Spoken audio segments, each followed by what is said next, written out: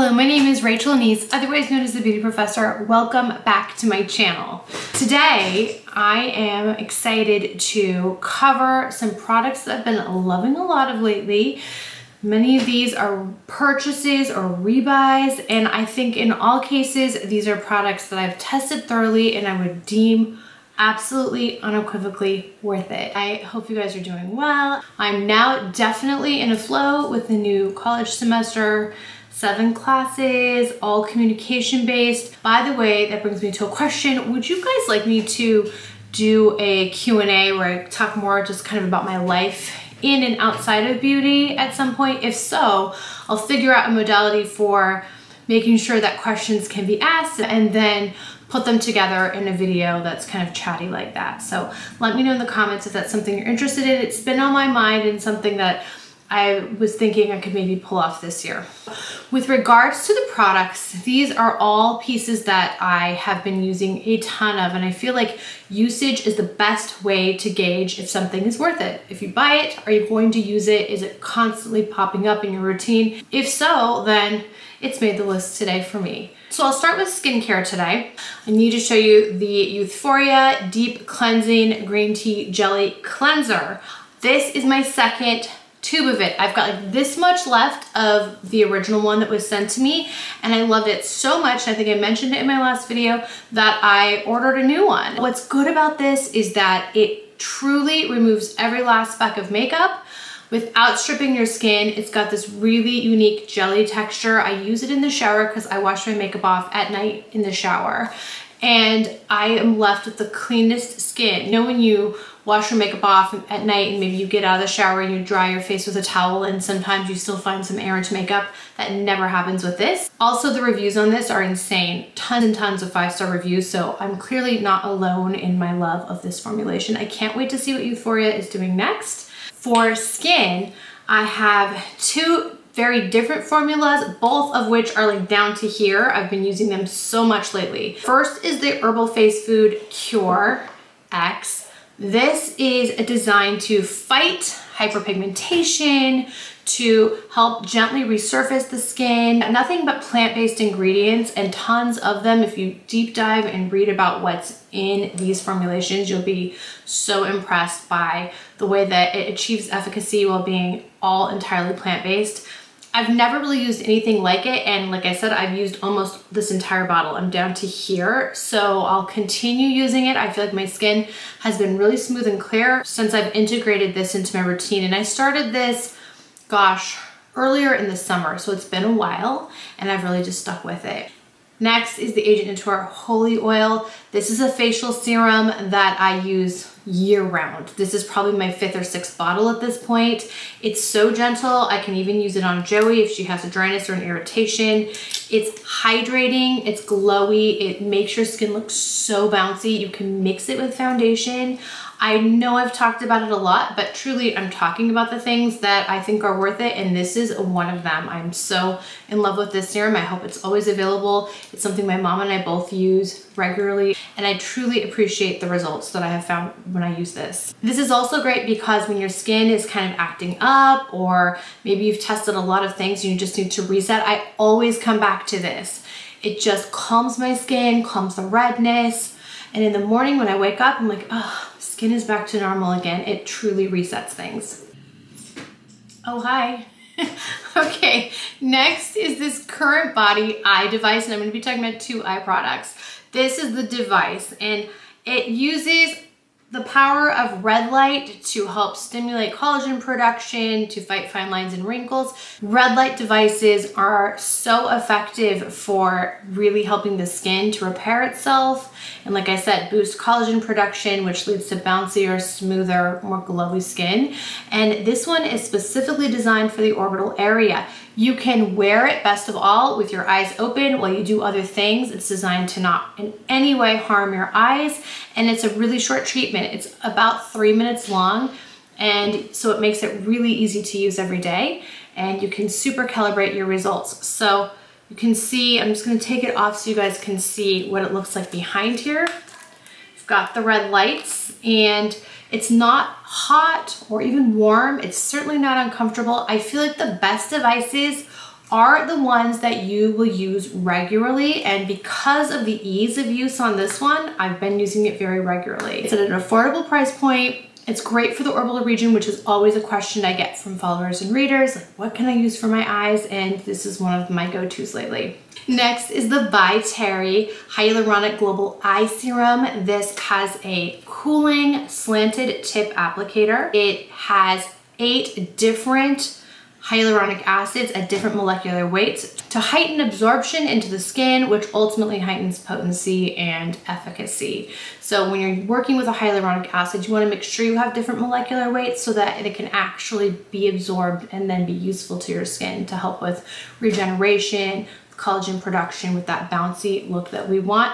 This also, because it's so cooling, helps to decrease puffiness and it's so easy to use. So I'm very much enjoying this one from By Terry. For the body, I needed to show you the U Beauty Super Body Hydrator. This is not new, nor is it new to me, but it's been something I've been reaching for a lot lately as it's been very cold and very dry here in Southern California At least for us, it's very cold and dry.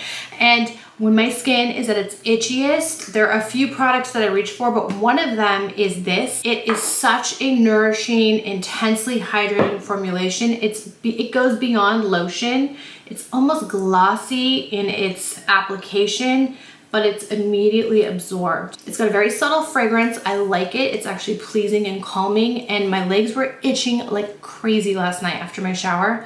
It happens, I do take hot showers, especially when it's cold. This one calms my itching immediately and wherever I apply it feels so hydrated for nearly 24 hours. One more skincare item that I wanted to discuss is the Clé de Peau UV Protective Cream. It's SPF 50 plus What's so great about this one, and I actually have it on today, I put it on early this morning, is that it feels like a skincare treatment, a ritual, if you will. Sometimes a sunscreen feels like a chore, and it often is hard to blend in and just changes the whole trajectory of the rest of your skincare and makeup.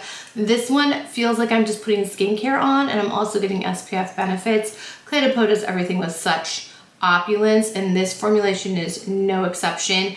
I love how quickly it just sinks into my skin, leaves me with very smooth, glowy skin, and is protecting it all day long. For the hair, I'm showing you a single curler here because I use the T3 volumizing hot rollers. I've used them for years. I've talked about them so many times. I've demonstrated them. They are the key for me to having kind of bouncy full hair. I'm not looking for tight curls, just some fullness and some volume on my otherwise straight hair.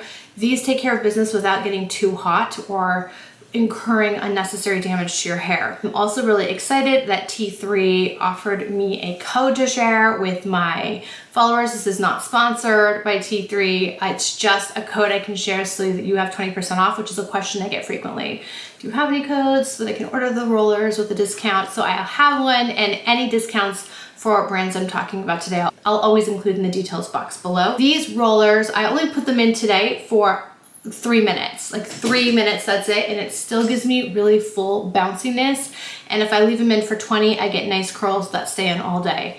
Cannot recommend these enough because also it lets me multitask while my hair is getting done. So I can put on makeup, I can clean up, all of these things I do while my hair is curing and then I just pull them out and I don't think about it the rest of the day. Such a time saver and they do deliver the kind of fullness that a lot of us are looking for. Another hair product I needed to show you is the Maya Chia Mane Agent. I can't remember if I talked about it in my best of 2022 video. I feel like I had received it right around then and I've been using it nonstop since then.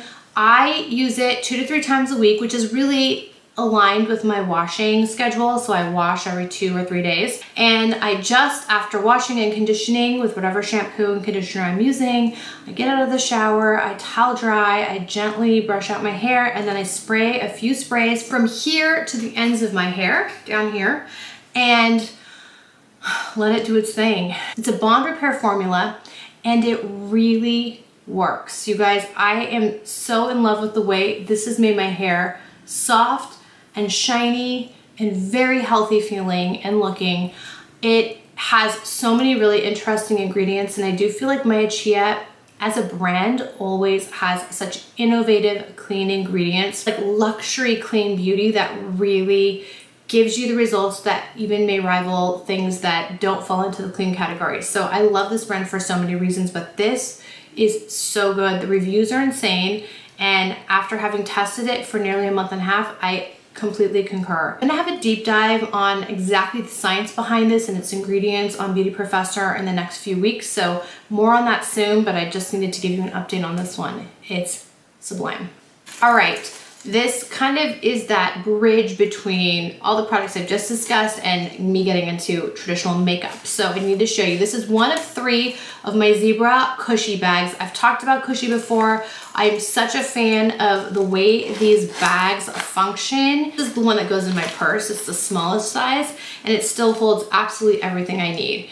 So it's got a zipper on one side, it's got some netted pouches on the other so you can divide things and you can also zip out the interior of these bags so that you can wash them if they get dirty. This one's got, you know, hot pink on the inside and this gorgeous neutral zebra pattern on the outside. I think it's like their prettiest pattern yet. The material is just so durable. It's lightweight, but it's sturdy. You can also just the bag stands, which is really important when you have a bag full of makeup or product, that it's not falling over and collapsing on itself. This is structured enough to stand. So I highly recommend it, especially if you're looking for a makeup bag that fits into most handbags. This one fits into my small Celine bucket bag. So it is, it's tiny enough to do that, and but still holds absolutely everything that I need. This is probably my like 10th Kusshi bag. So clearly I'm a fan really fast, I will be linking this sweatshirt. I bought this almost six months ago now and I love it. It's in a medium. Could have probably worn a small. If you want even bigger, more dress-like, you could bump up to a large. It's super oversized. I just tucked it into some frame jeans here.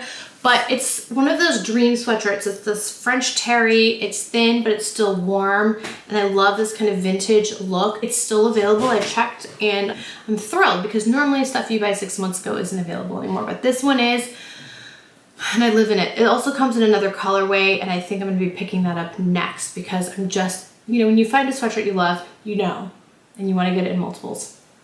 That's it. Okay, for complexion, I'm almost out of my tube of Peau from Le Métier de Beauté. This is that X Factor product that I talk about and have talked about for nearly a decade. I wear shade three year round. Though I have it on good authority that they might be making a new version of 4 and in the dead of summer when hopefully it's available, I think it'll be a good match for my skin. In the meanwhile, 3 is my go-to.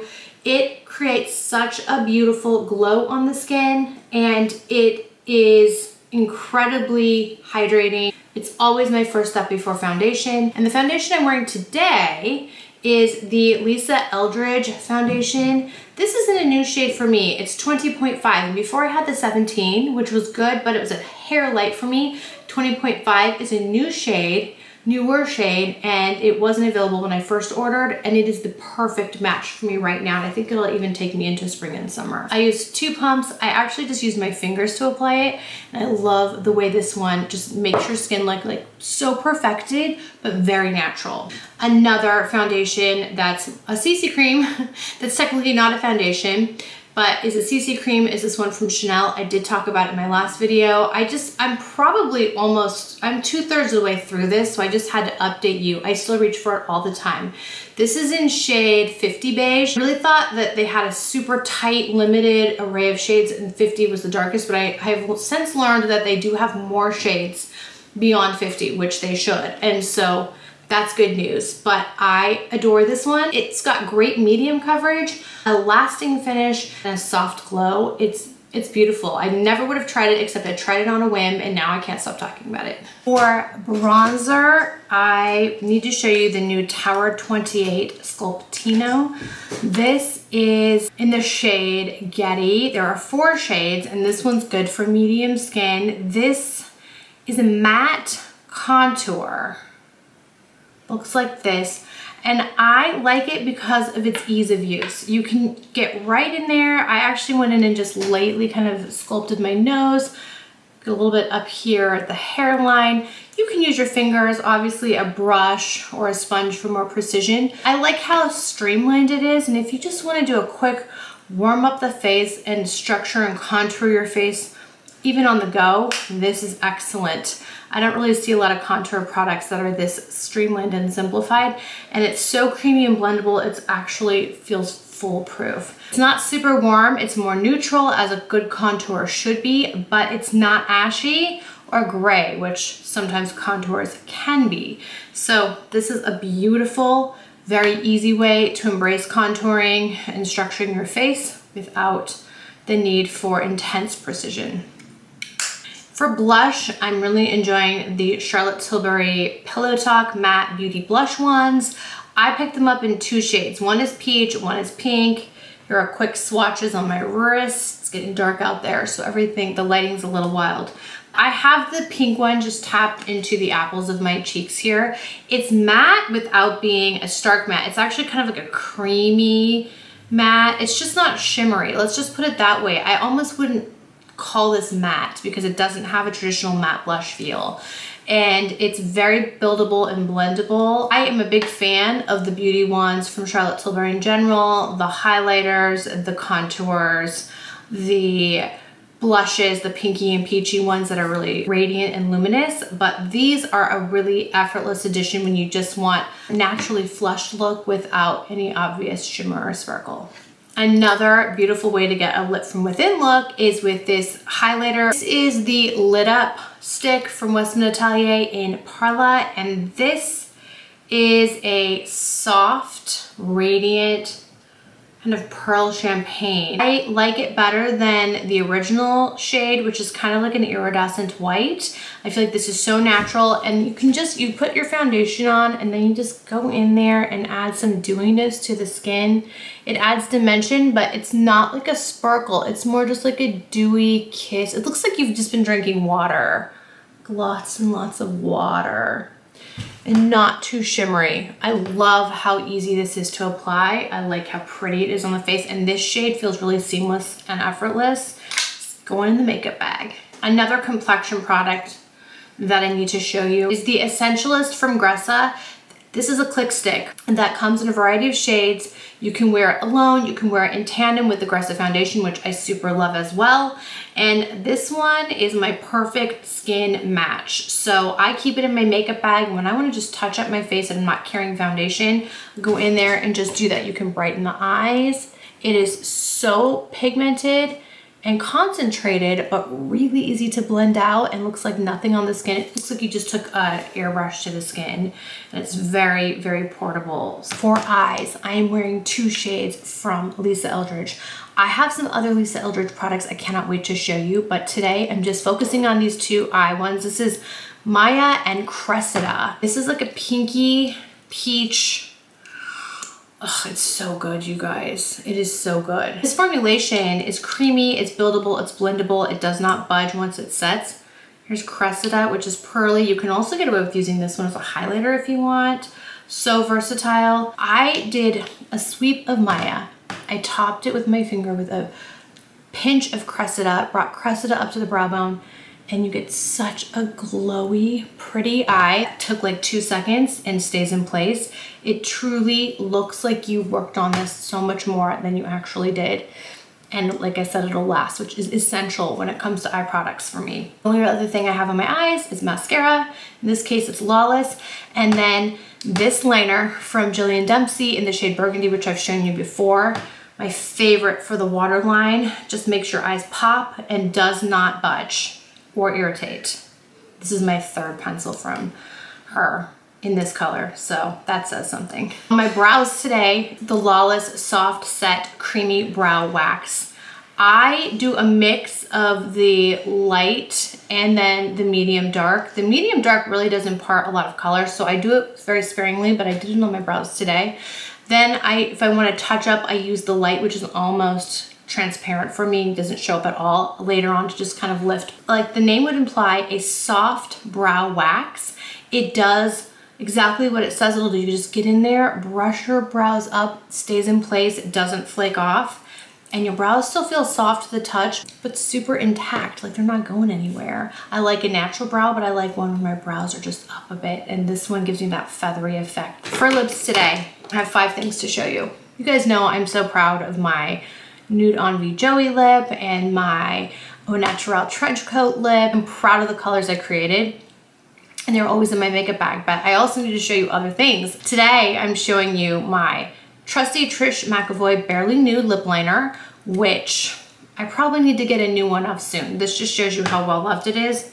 It is such a gorgeous, intense nude that's creamy, that works with all my lip colors. This Suqqu lip formulation, amazing. It's like a treatment and a color in one. I've discussed it before, I've shown it on social a bunch of times. This is in the shade 5, which is a beautiful mauve pink. I hope it's still available. This is a part of the permanent collection, so even if it's sold out, be patient, try again, because I'm sure they'll be replenishing. But it's balmy and glossy and feels like nothing I've ever tried before. I, I just love this, it's always in my bag. I am wearing today, in addition to the pencil, I'm wearing this Armani 503. This is my second one, so I've worn it a ton. There's just something so good about this Lip Power shade for me. It's like a peachy pink, big surprise, but it does something amazing to the lips. I feel like your lips just look their best in this one and it lasts. I topped it with, because I was going crazy today, a mixture of two shades that are in the same family. This is the new Sisley Lip Shine in Beverly Hills, which is stunning. It's created in collaboration with Patrick Foley, who is a dear friend and also a makeup artist, beauty expert, and he created the most perfect pinky peach beige. The shine is gorgeous. Also am enjoying this Tarte Lip Plump in White Peach, which I was really struggling to get for a while. I couldn't find it and now I found it in stock at Sephora this weekend, so I had to show you. I did top, just put a little more on top because I can't stop sometimes. This one's lighter, much lighter than the Sisley Beverly Hills, so they're different and serve different purposes, but both are just great on top of something a little bit darker. All right, and that concludes these products I'm loving right now that I think are worth it. I hope I showed you something that you found interesting or maybe that you're already loving. I welcome your questions and your comments. Please share ideas for videos you'd like for me to do in the future. And also drop in any questions you might have, maybe even to the comments now for a Q&A type video that I'm hoping to film very soon. I am so grateful that you're here. I am really in earnest about trying to make more frequent videos. So here I go. Have a beautiful rest of the month. In the meanwhile, don't forget to visit me at my Instagram at Beauty Professor, which is updated daily, as well as beautyprofessor.com. Take care.